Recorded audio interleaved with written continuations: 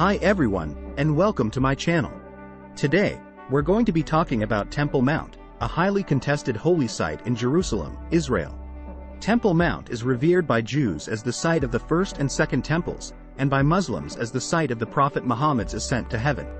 The site is also home to the Dome of the Rock and the Al-Aqsa Mosque, two of the most important Islamic shrines in the world. The Temple Mount is located in the Old City of Jerusalem, and it is surrounded by a high wall. The only way to enter the compound is through one of the 11 gates, which are controlled by the Israeli police. The history of Temple Mount.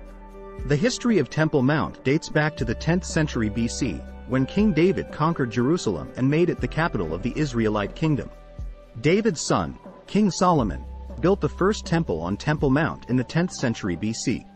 The first temple was destroyed by the Babylonians in 586 BC, but it was rebuilt by the Israelites in the 6th century BC. The second temple was destroyed by the Romans in 70 AD. The Temple Mount has been under Muslim control since the 7th century AD. The Dome of the Rock was built in 691 AD, and the Al-Aqsa Mosque was built in 705 AD. The significance of Temple Mount Temple Mount is the holiest site in Judaism. It is the place where the first and second temples stood, and it is the place where Jews believe the Messiah will one day return. Temple Mount is also the third holiest site in Islam. It is the place where Muslims believe the Prophet Muhammad ascended to heaven. The conflict over Temple Mount. The Temple Mount is a highly contested holy site. Jews and Muslims both have strong religious claims to the site, and this has led to conflict and violence over the centuries. In 1967, Israel captured East Jerusalem, including the Old City. Since then, Jews have been allowed to visit the Temple Mount, but they are not allowed to pray there.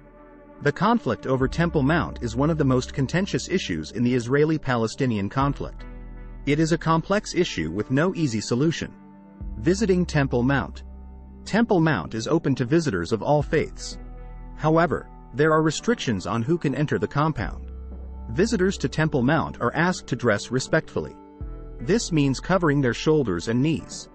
Women are also asked to cover their heads. Temple Mount is a truly awe-inspiring place. It is a holy site for both Jews and Muslims, and it is a place where people from all over the world come together to worship. I hope you enjoyed this video about Temple Mount. If you have any questions, please leave them in the comments below.